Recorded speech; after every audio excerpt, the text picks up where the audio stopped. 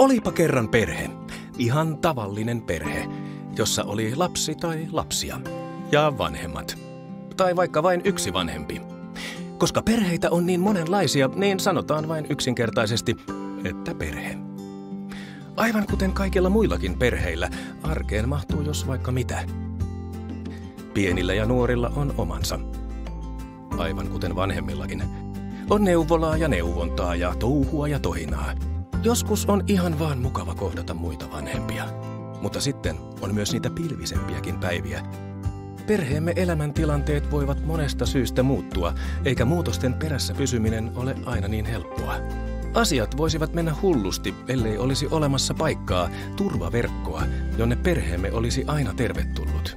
Niin iloineen ja riemuineen, kuin myös suruineen ja murheineen. Perhekeskuksen idea on olla paikka, jonne voi aina tulla ja jossa perheet ovat keskiössä.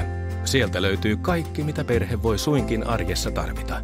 Tarjolla on matalan kynnyksen tukea ja toimintaa. Ja kaikki palvelut tarjoillaan yhteistyössä, niin kuntien kuin erilaisten järjestöjen ja yhteisöjenkin toimesta. Perhekeskuksessa on mahdollisuus kohdata myös muita perheitä ja jakaa kokemuksia. Pyörää ei tarvitse aina keksiä uudelleen. Tarvitsee vain koota kaikki olemassa olevat osat yhteen ja niistä syntyy perheitä palveleva toimiva kokonaisuus. Perhekeskus. Kuulostaako perhekeskus pelkältä sadulta?